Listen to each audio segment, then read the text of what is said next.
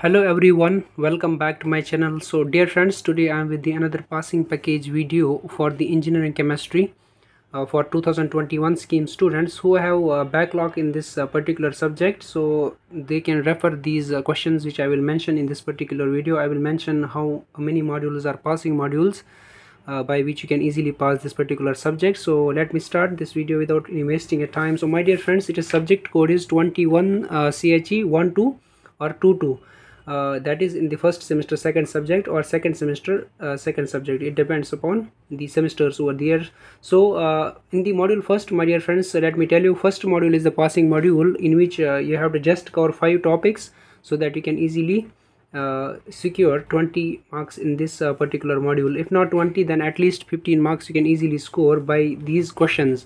Let me discuss now first of all derivation of Nernst equation for the single electrode potential. It is the definite question over there which you should uh, focus over there. So also numericals are on the basis of this particular uh, Nernst equation for the single electrode. If you are convenient with the numericals you can go through uh, so that you can uh, score 20 marks. But if you are not convenient with the problem so leave it my dear friends. You can uh, uh, what we call you can pass this particular subject with without numericals. Only by focusing on theory portion you can easily pass this particular subject right?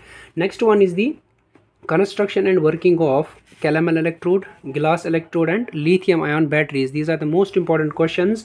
So questions will be like uh, write down the construction and working principle of the calomel electrode glass electrode and lithium ion batteries. Different uh, simultaneously they may not ask it but uh, uh it uh, individually these questions will come come across over there like uh, construction and working of calomel electrode will be the first one question if not calomel electrode then will be uh, construction and working of glass electrode accordingly over there. So you have to focus on applications and advantages also for this particular concepts.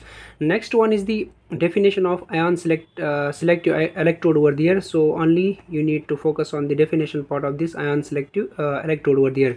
And determination of ph using glass electrode is the important one in this particular module. Next one is the classification of batteries you should know over there. So this is the content for the module first. If you want to cover.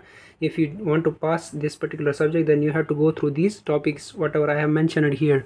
Next one is the passing module. That is module 2 in which you have to cover define metallic corrosion describe the electrochemical theory of corrosion and taking iron as an example over there so this is the most important question we should which you should know over there next one is the types of corrosion.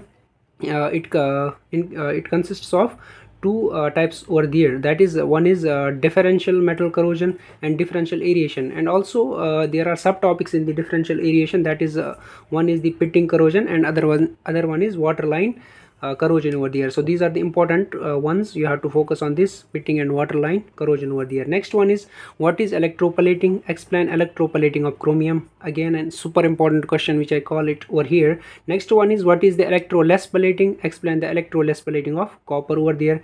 Next is distinguish between electroplating and electroless plating processes over there. So this is the content for the uh, module second dear friends. You can easily focus on. Next one is the also two questions are left in the module uh, second over here. That is factors affecting the rate of corrosion and numericals on CPR that is corrosion penetration rate.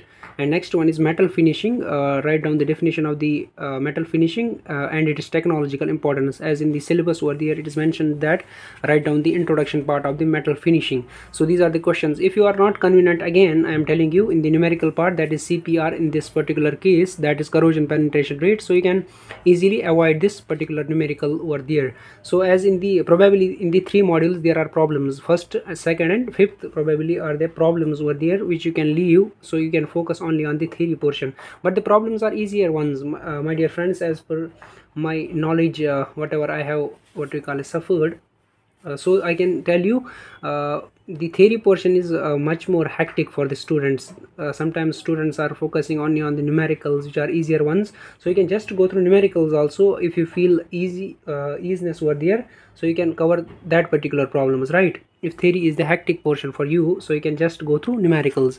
Next one is the module third which is again a passing module. That is a synthesis of uh, polyurethanes and write its applications over there. Next one is the most important one. So questions will be uh, like write down the synthesis properties and applications of the following like kevlar fiber polylactic acid and nanomaterial by sol gel process. So you have to focus on synthesis and properties and applications of these particular topics over here. So next one is mechanism of uh, conduction in polyaniline and factors affecting conductivity of organic polymers right? Next one is the right uh, short note on uh, fullerenes carbon nanotubes over there and graphenes and you have to write down the properties and applications of nanomaterial so this much content is enough for the module third to cover over there.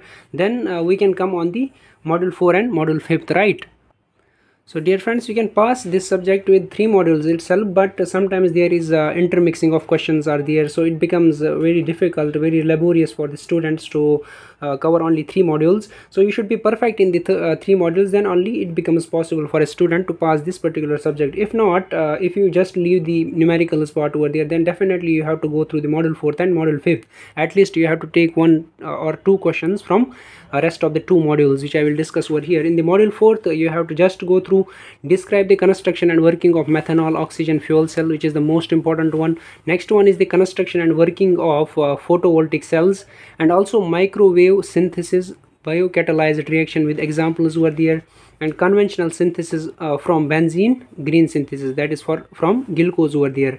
So you have to uh, write down the uh, for the adipic acid uh, conventional synthesis. Uh, in other means i can say you the write down the synthesis of adipic acid from benzene and green synthesis from glucose over there. Next one is conventional and green synthesis from phenol that is for paracetamol. You have to write down the synthesis of paracetamol uh, by conventional and green synthesis from uh, phenol over there. So this is the model 4 uh, in which you can uh, refer through two questions which are the most important ones like construction and working of photovoltaic cells and working of methanol oxygen fuel cell if you want to pass it right. Next one is the model fifth in which you have to cover some definitions like BOD that is biological oxygen demand and COD chemical oxygen demand. Also there are problems as I mentioned earlier that there are uh, problems in the three modules over there as this is one of one among them uh, so that you have to uh, you don't have to focus on the uh, problematic part. As i mentioned that you can easily pass this subject with the theory itself. So just go through definitions of these particular topics and instrumentation and applications of calorimetry flame photometry and potentiometry and conductometry over there right and last one but not least so this is the determination of hardness using EDTA titration over there so this is the enough content to pass this particular subject with ease. So you can go through my dear friends. So thanks for watching my video